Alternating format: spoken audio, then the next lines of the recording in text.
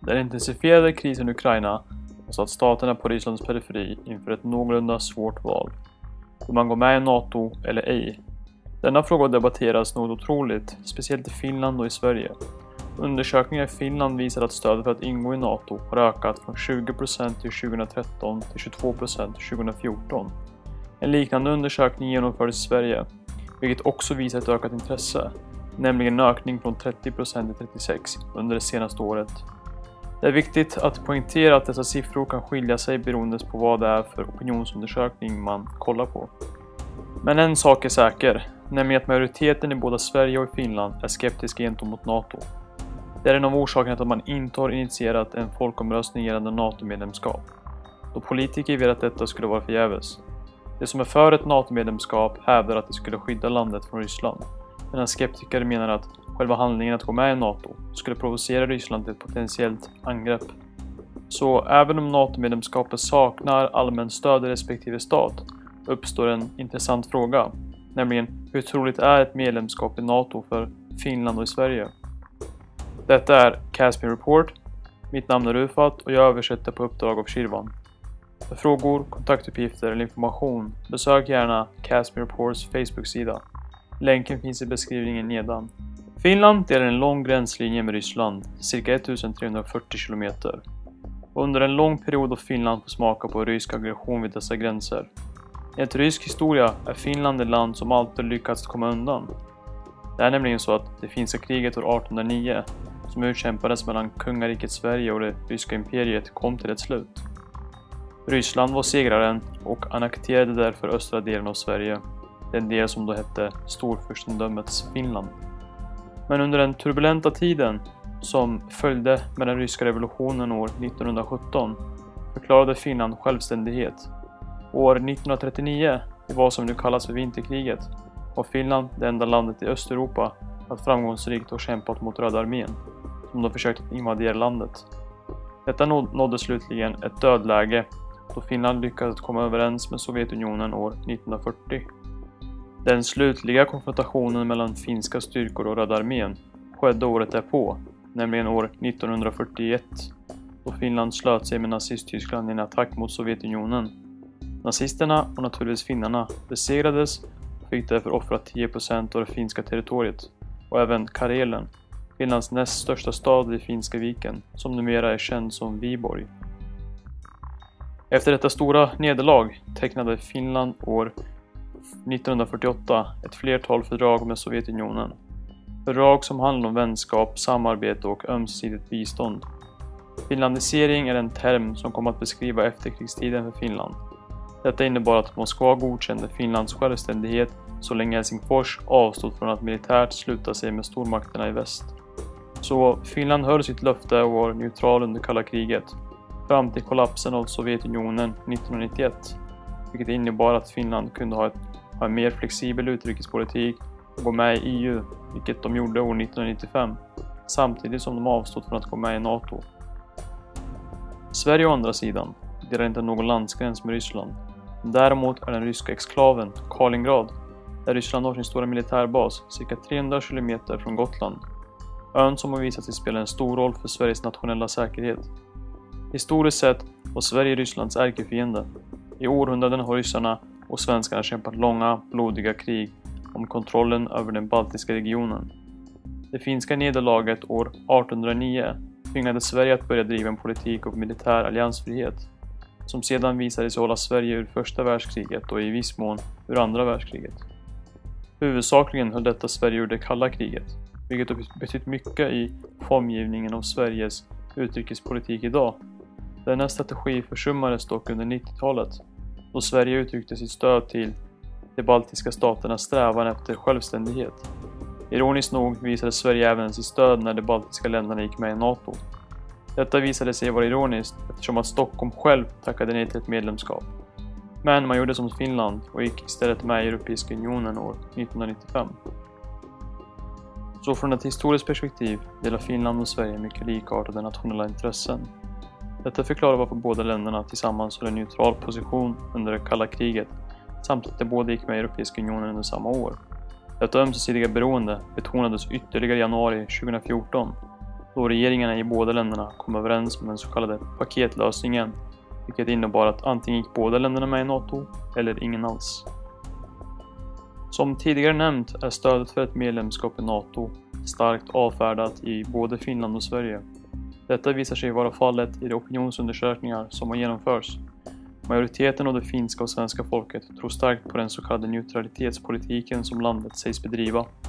Men sanningen är den att både Finland och Sverige är starkt integrerade i den ekonomiska institutionen i väst. Båda staterna är medlemmar i EU samt aktiva i NATOs Partnerskap för fred, programmet där stater deltar i gemensamma forumaktiviteter aktiviteter som berör gemensamma övningar, samarbete och vetenskaplig forskning, miljöfrågor, katastrofhantering med mera. Både Finland och Sverige har också bidragit med trupper och resurser till NATO-ledda insatser i Balkan och Afghanistan. Så att hävda att Sverige och Finland bedriver en neutral utrikespolitik än idag är fel. Sanningen är den att dessa stater förlorade sin neutrala politik i och med kollapsen av Sovjetunionen.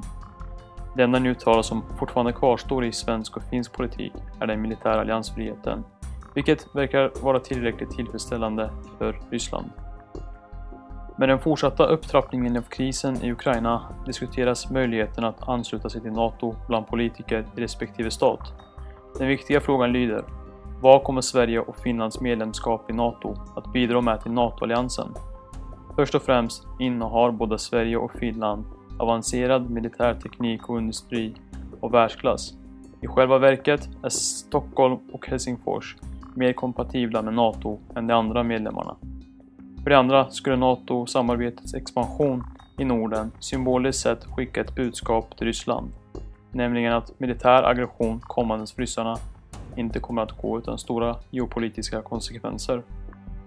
För det tredje spelar Sverige och Finland ur ett strategiskt perspektiv väldigt stora roller. Detta skulle innebära att NATO skulle kunna bedriva sin verksamhet mycket närmare Ryssland, vilket i sin tur skulle innebära att de ryska styrkorna skulle tvingas sprida sig tunnare på den europeiska slätten. En annan viktig punkt som styrker NATOs önskan att Sverige och Finland går med i kollektivet är Östersjön. En stor del av Rysslands viktiga handels och energiexport går genom Östersjön.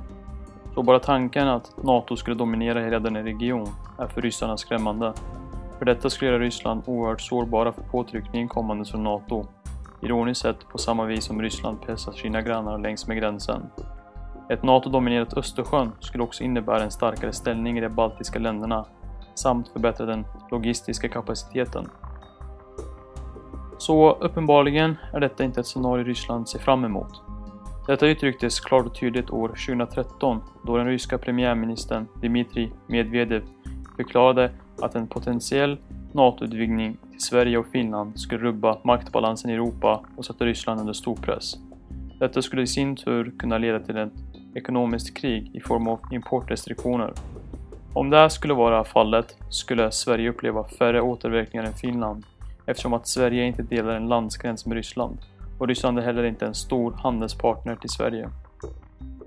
För Finland däremot är Ryssland den största importpartnern och den näst största exportdestinationen. År 2013 exporterade Finland varor till Ryssland till ett värde av cirka 7,4 miljarder amerikanska dollar och samtidigt importerade varor till ett värde av cirka 11,9 miljarder dollar. Så ja, Moskva har ett betydande inflytande över den finska ekonomin. Om detta verkar något långsökt, tänk då på vad som står på spel för Ryssland. För att exemplifiera detta vill jag påminna er om år 2013 då Ryssland införde importrestriktioner gentemot Ukraina för att tvinga Kiev att tacka nej till EU-valet. Så ett ekonomiskt krig skulle sannolikt vara den direkta påföljden av Finlands och Sveriges anslutning till NATO. Den långsiktiga påföljden skulle förmodligen resultera i en upptrappning av ett nytt kallt krig med helt nya förutsättningar. Allt detta leder oss fram till en sak. Ett medlemskap i NATO skulle varken skydda Finland eller Sverige från Ryssland utan snarare provocera Ryssland på så vis skada de nationella intressena i de båda länderna. Den militära alliansfriheten i Stockholm och Helsingfors har visat sig vara framgångsrik under det kalla kriget.